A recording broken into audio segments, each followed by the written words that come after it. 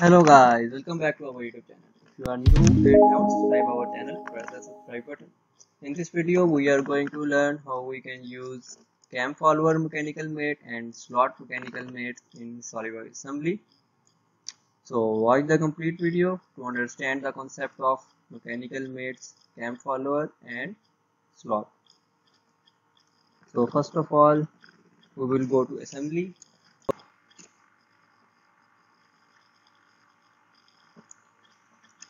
So first of all we will assemble the cam and follower parts and then we will apply the cam follower mate.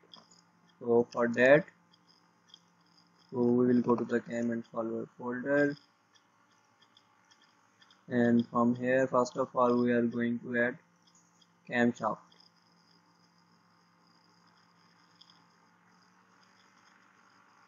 Select OK so our camshaft has been inserted. Now we are going to insert our cam body. Select ok so this is this component is fixed. We have to make it float. Now what we will do is we are going to make it concentric. And we are going to add width mate. These advanced mate I have explained in the previous video. I will provide the link in the description. You can watch it from there.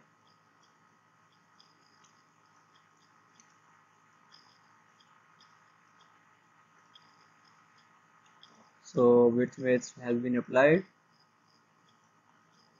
Now you can see it will move in the center.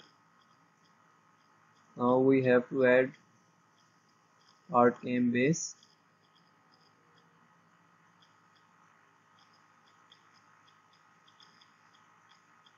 And now we will make some coincident mates between the plane of this camshaft and this base.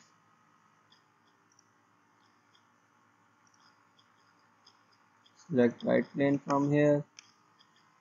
Go to cam base and select that plane from here and make coincident select ok again select front plane and from here select front plane and make them coincident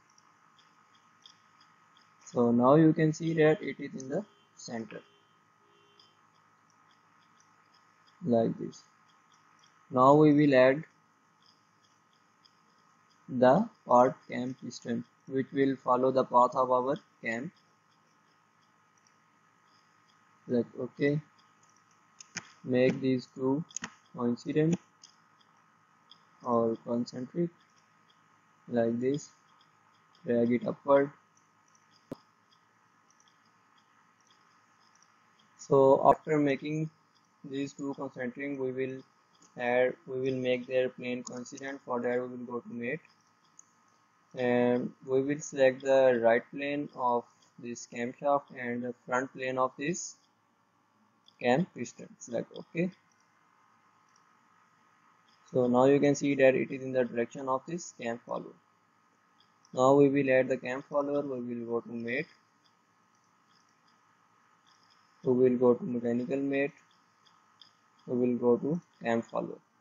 And first of all we will select the path. So you can see that this is the path we want to follow. So I have selected the path and now this is our cam follower you can see that it is showing that this is a cam follower select ok. Select ok. And now if you will move this cam it will follow the cam path like this. So this was our cam mate in the mechanical mate now we will see what is the slot mate so we will close it. Go to new assembly.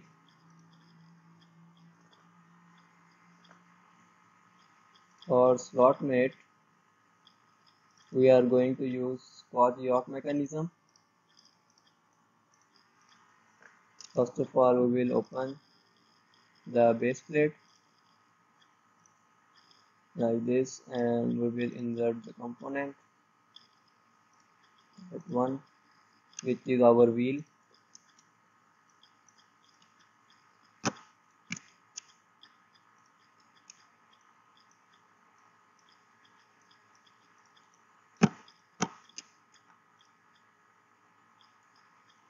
So our wheel has been adjusted.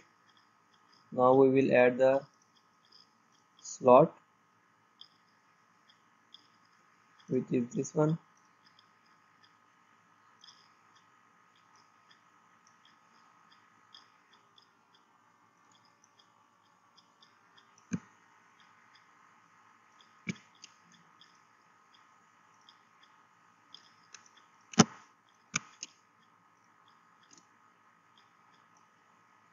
so our slot has also been applied.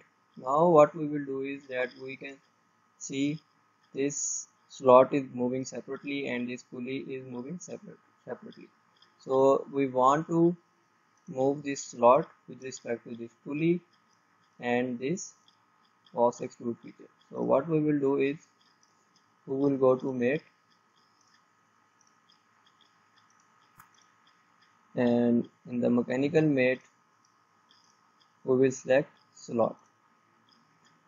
So now what we will do is we will select the slot path. As you can see this is our slot path and this cylinder is our slot follower. So this is our constraint. So I will I will tell you what are these constraints first of all let's see what slot do so now you can see that this boss extrude feature is moving in the slot and our scotch gearbox mechanism is ready. So now we will see what are the other constraints in the slot. The other constraint is center in slot. So you can see that the, it has been automatically adjusted in the center of the slot and now it will not move like this. Now you can see it is fully defined. Like this if you want distance from here you can adjust the distance like this. Or if you want the percentage you can select the percentage from here. Select ok so now you can see the red line showing that the percentage from here to here is so this was our simple tutorial on mechanical mates of cam follower and slot. Thank you for watching. Keep supporting and keep sharing our